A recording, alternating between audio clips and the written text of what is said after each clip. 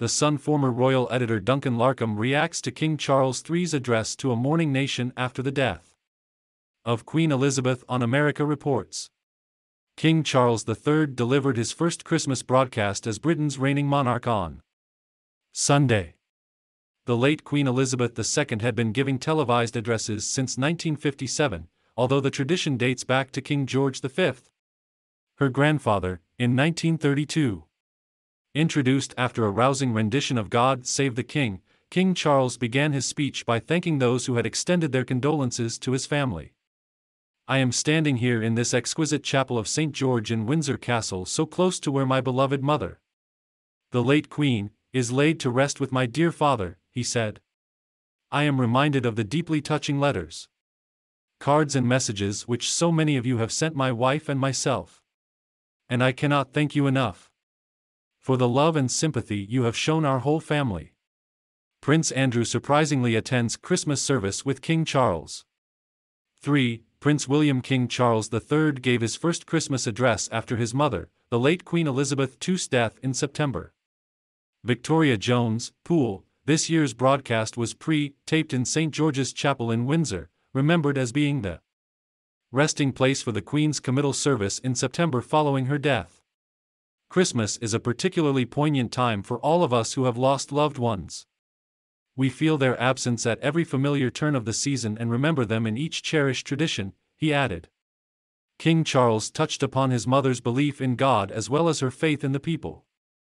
Sentiments which he shares. It is a belief that the extraordinary ability for each person to touch with goodness and compassion the lives of others and to shine a light in the world around them. This is the essence of our community and the very foundation of our society, he said. He thanked the armed forces, emergency services, healthcare professionals, teachers, and all those in public service whose skill and commitment are at the heart of our communities.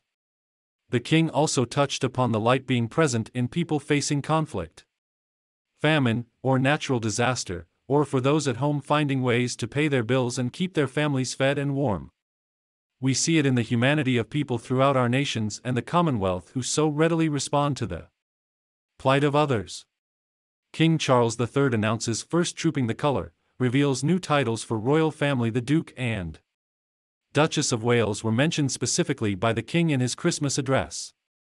Click here to sign up for the entertainment newsletter. The King specifically called out his appreciation for his son and daughter in law, Prince William and Kate Middleton the Prince and Princess of Wales recently visited Wales, shining a light on practical examples of this community spirit.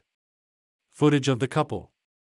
Along with King Charles, Camilla, the Queen Consort, the late Queen, and Prince Edward was shown over the course of the 8.5 minute video. King Charles touched upon his very important trip to Bethlehem in 2020. YouTube slash the royal family, the monarch also addressed his transformative trip to Bethlehem and the Church of the Nativity. There I went down into the chapel of the manger and stood in silent reverence by the silver star that is inlaid on the floor and marks the place of our Lord Jesus Christ's birth. It meant more to me than I can possibly express to stand on that spot where the Bible tells us the light that has come into the world was born, he said. While Christmas is, of course, a Christian celebration, the power of light overcoming darkness is celebrated across the boundaries of faith and belief. So, whatever faith you have or whether you have none, it is in this life, giving light and with the true humility that lies in our service to others, that I believe we can find hope for the future. Let us, therefore, celebrate it together and cherish it always. Click here to get the Fox News app. He concluded his message by saying, With all my heart, I wish each of you the Christmas of peace, happiness, and everlasting life. Caroline Thayer is an entertainment writer for Fox News Digital.